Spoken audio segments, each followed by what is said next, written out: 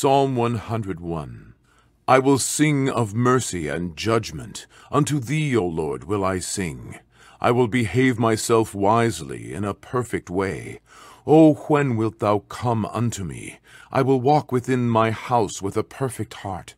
I will set no wicked thing before mine eyes. I hate the work of them that turn aside. It shall not cleave to me. A froward heart shall depart from me.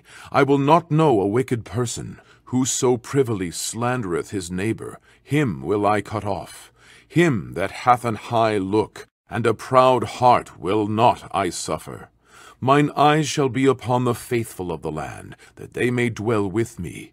He that walketh in a perfect way, he shall serve me.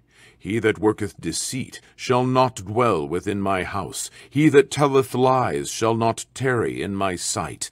I will early destroy all the wicked of the land, that I may cut off all wicked doers from the city of the Lord.